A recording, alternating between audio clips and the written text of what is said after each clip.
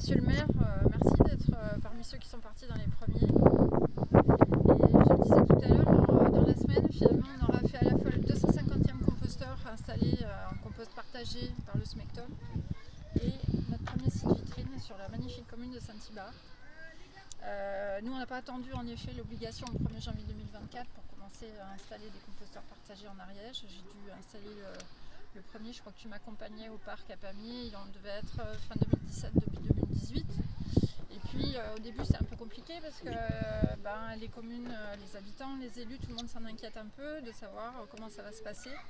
Et donc le site vitrine, qu'il soit labellisé, ou finalement tous nos premiers sites qui sont quelque part nos vitrines, permettent de montrer de notre euh, population, je dirais, d'usagers et de décideurs que bah, les choses se passent bien, qu'on est là pour les accompagner et puis que ça permet une vraie réduction des déchets parce qu'on obtient quand même des résultats très tangibles. On le voit en fait euh, dans les quantités de déchets qu'on enfouit sur notre, euh, sur notre site de Berbiac avec maintenant, euh, depuis au moins deux ans maintenant, une vraie grosse décrue qui se reproduit d'année en année. Donc on a un mix de solutions. On a beaucoup parlé de tarification incitative ces derniers temps, mais ça n'est qu'une des deux jambes sur lesquelles on marche. La deuxième jambe, bah, ce sont des outils opérationnels, des solutions pratico-pratiques pour que les usagers sachent quoi faire de leurs déchets, plutôt que de les conduire systématiquement dans la poubelle grise. Mais pour ça, il faut des solutions. Ceux qui ont la chance de vivre en pavillon individuel avec un composteur individuel, un bac individuel, etc., c'est très bien. Il y a des autres. Et il nous paraissait important en matière de je dirais, qu'y compris les gens qui vivent en centre-bourg et pour qui il n'est absolument pas question d'installer un compost à la maison, euh, puissent avoir accès à des solutions partagées. Alors en plus, euh, je crois que vous pouvez déjà le voir ici, en fait, ça, ça conduit à renforcer le lien social. On le voit tout de suite que ce soit dans les...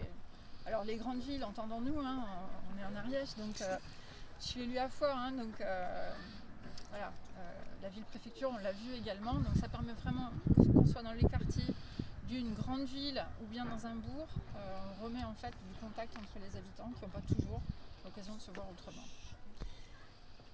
Monsieur Florisson, Éric Florisson qui a accompagné, euh, qui le projet, vous voulez nous dire peut-être quelques mots un peu plus techniques sur, euh, sur l'installation, sur nos différentes euh, réalisations Sur ce qu'est un site de, compostage, vous en avez l'archétype. En fait, un site de compostage, c'est pas qu'un seul bac, c'est plusieurs bacs, les uns à côté des autres, et qui ont chacun une fonction du, du bac d'apport, qui permet aux habitants et aux usagers d'apporter leurs déchets, un bac de matière sèche qui est très importante équilibrer le compost et avoir un, un bon cycle de dégradation, et un de maturation pour permettre de, de finaliser la, maturation, la réalisation d'un compost dont la vocation est d'être réutilisé sur place euh, pour le retour au sol de la matière organique euh, dont on a tant besoin euh, sur nos terres. Voilà.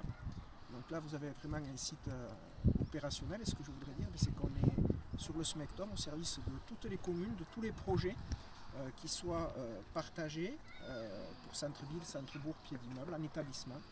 Et que le service euh, gestion de proximité des biodéchets est vraiment à l'écoute de tous les projets pour aider toutes les municipalités à faire aussi bien que, Saint-Ibar et de devenir à leur tour site vitrine et de vous prendre la place en quelque sorte. Voilà.